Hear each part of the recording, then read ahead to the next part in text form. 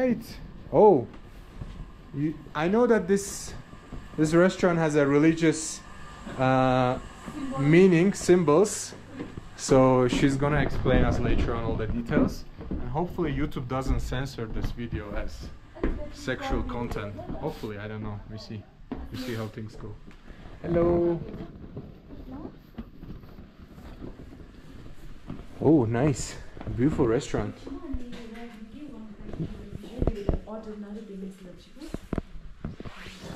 Yes, it's okay. Oh, I would love to sit by the window so we have lots of light. Ah, we can even sit here. Oh, very beautiful. All right. Shall we sit here? Yeah. And I'm gonna need a I'm gonna need explanation about this restaurant. I'm sure people have lots of questions why there's a penis-shaped things all around us. It's a religious. Um, It's a religious. It actually it's depicted from uh, what's that? Just give me a second. Yeah? don't worry. Don't, don't worry. Don't worry. I'm getting more. No, don't worry. No, yeah, she's it's depicted from okay. He's known as divine man. He's a like crazy saint who came all the way from Tibet. Uh huh. Okay, and then like So is this um like a It, uh, bad energy, or Uh, yeah. or is this a good thing? the, it's good and good Good, thing. good, good. Yeah, Okay. actually the palace, it's you will see like paintings and then the the things Yeah. to subdue the evil forces. Uh huh. And another thing, the reason he used phallus, like it's called like flaming thunderbolt. Uh huh. Uh, it like he, he used that to be get enlightened. Uh huh. Okay. Yeah. Okay. It's like kind of teaching in his own way. All So that's why it's, he he's known as like uh, divine madman. All right. Like But what uh, what stuff. this penis uh, things has like Yeah. symbol? What's the main symbol of it? Like subdue the evil forces. Uh huh. Yeah.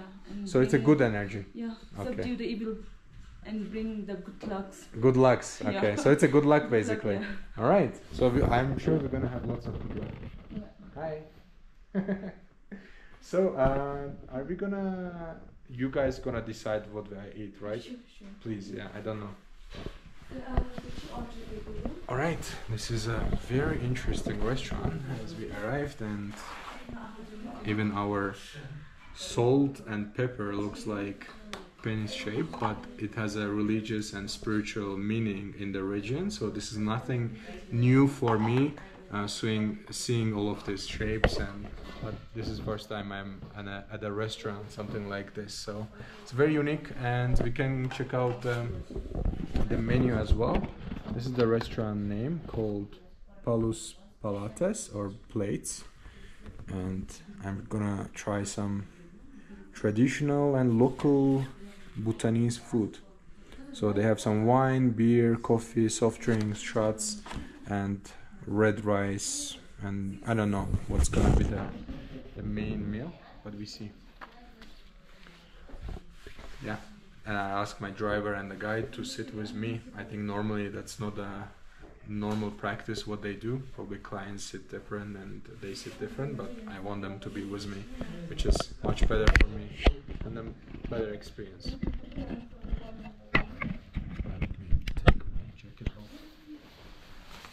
So as a first impressions, guys, I think it's incredible.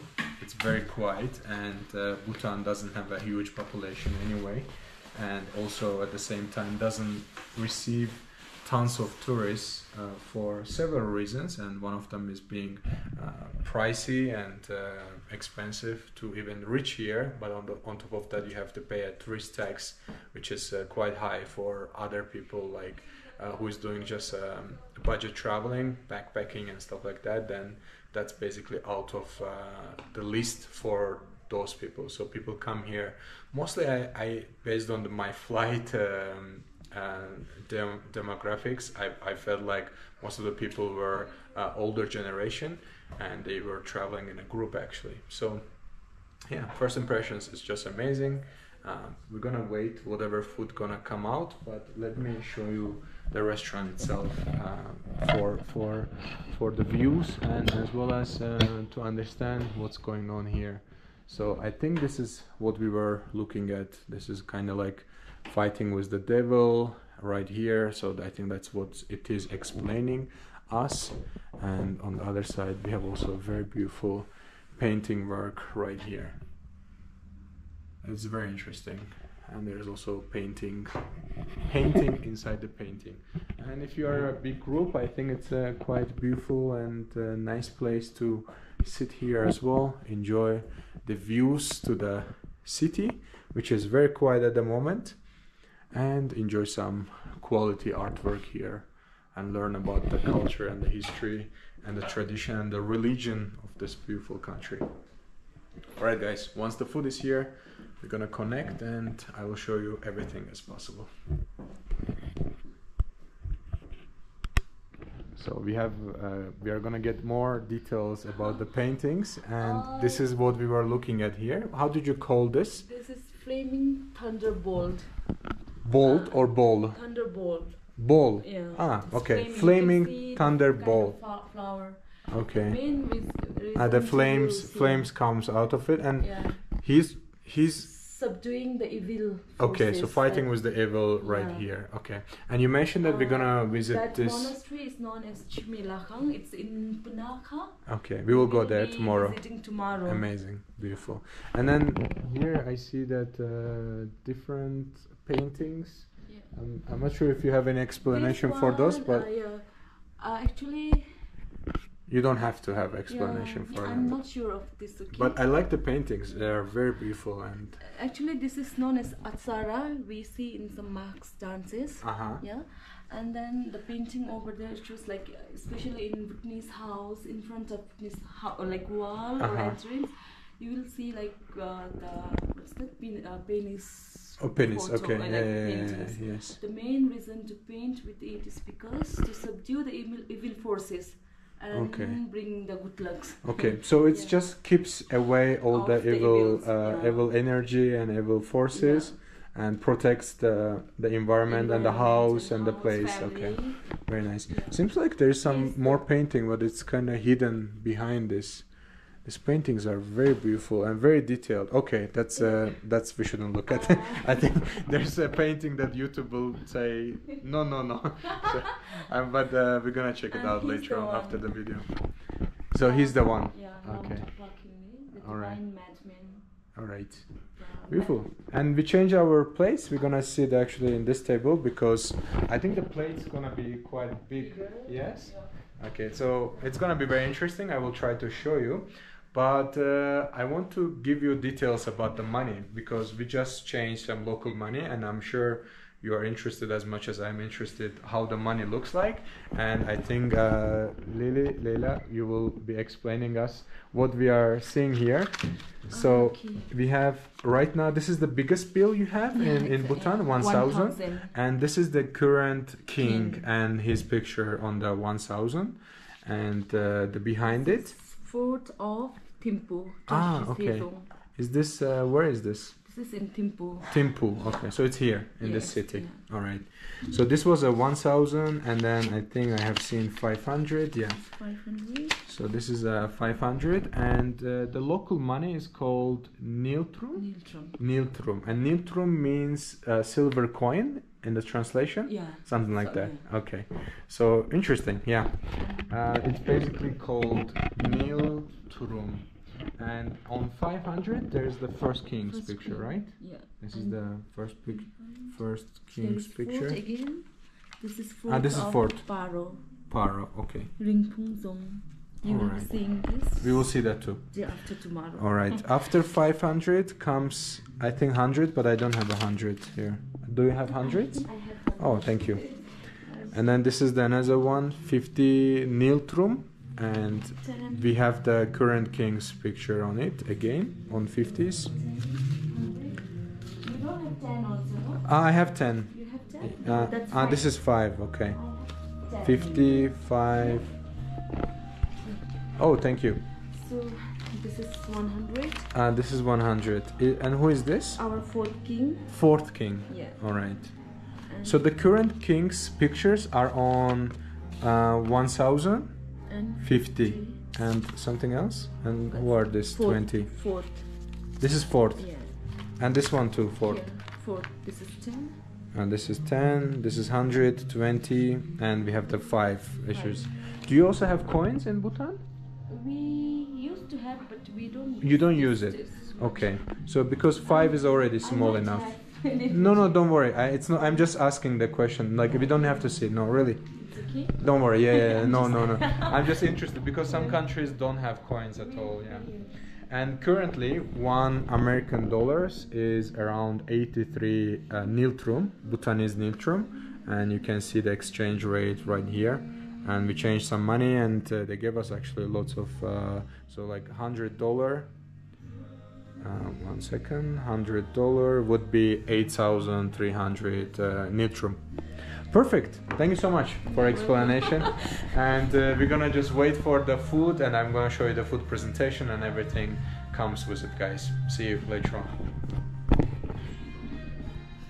All right. Our food is here. And as the restaurant theme the restaurant uh, food presentation also comes like uh, penis shaped and uh, we're gonna have some traditional food but at the same time we are getting some tea and i love chai in south asia region in general. So we're gonna see what type of chai they have and i heard they have butter butter salt butter salt uh, milk tea. So we're gonna try that out as well.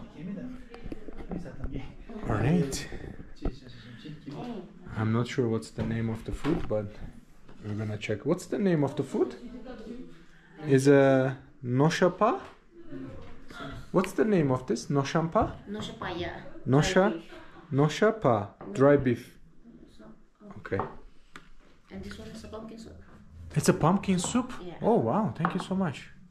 Very kind. Right. Oh more more things are coming.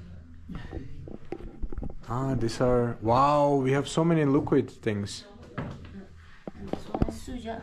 Butter suja salt. what's suja Butter salt tea. butter salt tea Yeah. okay and what's the white thing It's a curd. it's a curd wow you ordered all of this No, it comes with the food oh it's a package package. wow Combo. Wow, that's that's gonna be a huge feast. I'm not sure if I'm gonna have a dinner later on, but it seems like this is lots of food.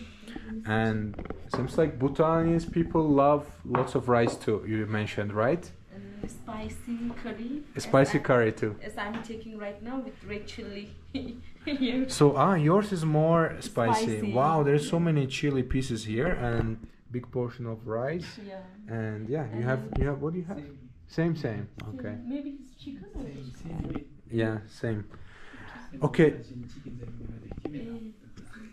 this is the traditional Bhutanese food. Yeah. Okay, so what what we are looking at here? We have a rice, We have red rice. This is our traditional local rice. red rice. Yeah. Okay, Here I'm taking pork with red chili and radish. It's called shakampa, sikampa, sikampa. sikampa. Okay, And paste, red chili paste with onion. okay. So how do you eat this? You just mix all together mix and then with eat. the rice and eat. Okay, and a little bit of a uh, cucumber there as well. and then Pumpkin soup pumpkin we soup. have. We have, and this is the salted butter salted butter tea. I'm Yes, very yes. interested to see. Our traditional tea. Is that sweet? No, it's salty. It's salty, And actually. Flavor of butter. Oh, interesting. Okay, I'm gonna try that out. Enjoy Okay. your lunch. Thank you so much. And uh, one more question: In like in other countries in South Asia, do you do you eat with your hands as we well? You do. Traditional we use by hand. Okay. And today you're gonna eat with hand or no? I will eat by spoon. You will use spoon. Okay. Okay. Then I will sp- use the spoon. oh no, you want to use hand?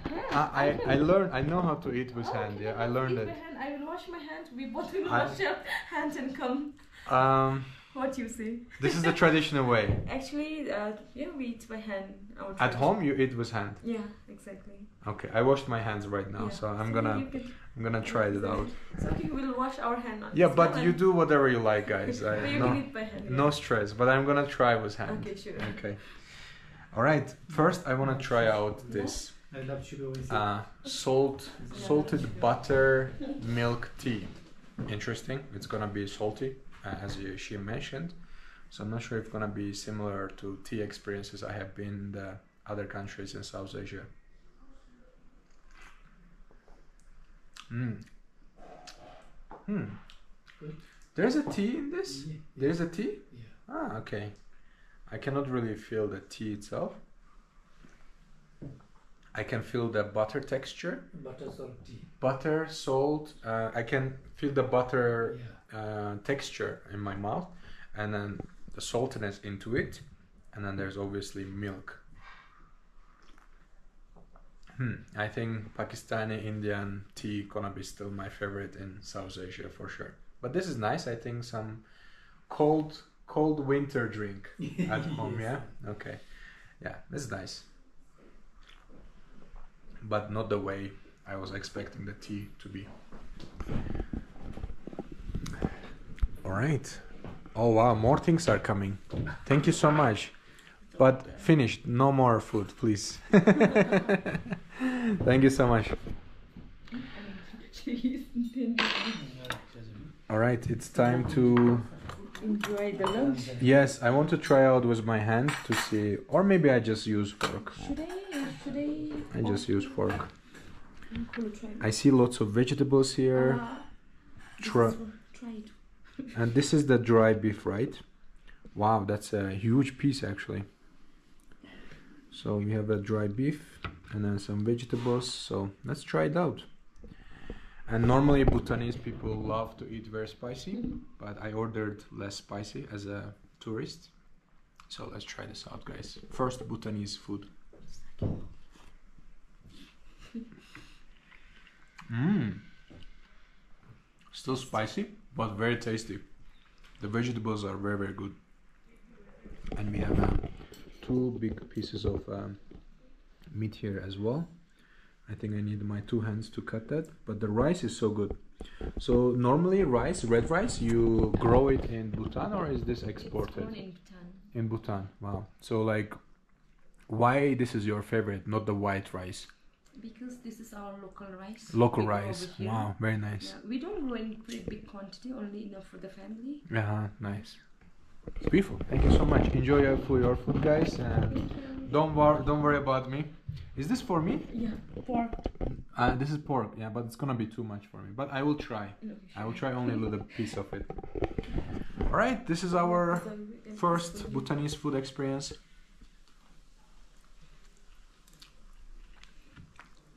Veggies are super tasty and they were super fast actually to cook everything for us. And they brought all these things for us. Three different, actually four different type of uh, drinks, and one of them is actually pumpkin soup. And I want to try out the pumpkin soup as well. Hmm, very tasty. Is. Alright, guys, the first food Bhutan's experience. I will see you later on.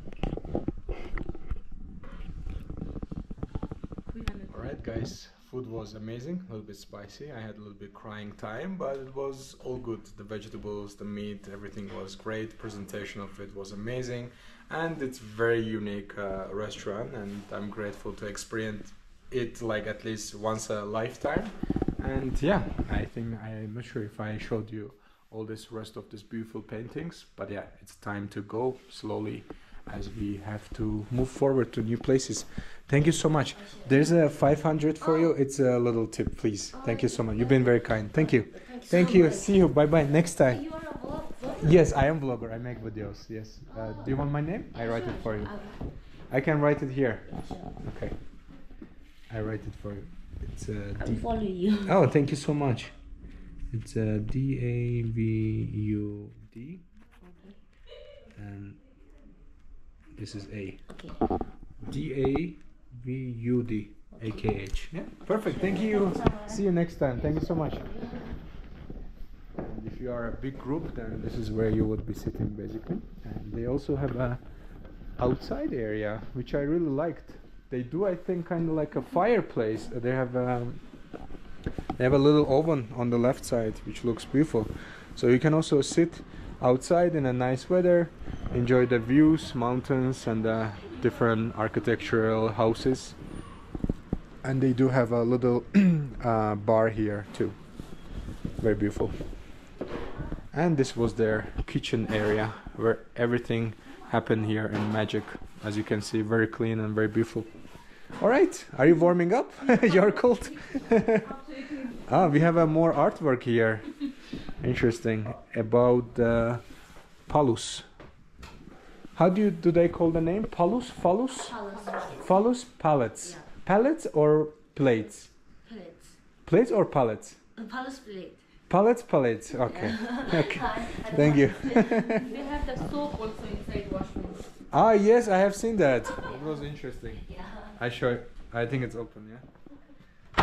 And it's very interesting as you are washing your uh, hands. This is their toilet, and they have a soap, looks like this. And if you wanna rub it, you have to basically do this, which is a little bit gay, but we go.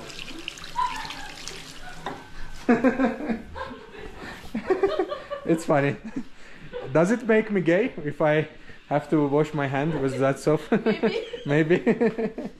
Thank you guys. All the best and see you. What was uh, good luck? Uh, good luck, Tashidali. Tashidele. Tashidele. Bye bye. Good luck, guys. Oh, they have a big tip box. I had to put the money there, not to the girl. I think it's hard to take the money out later on.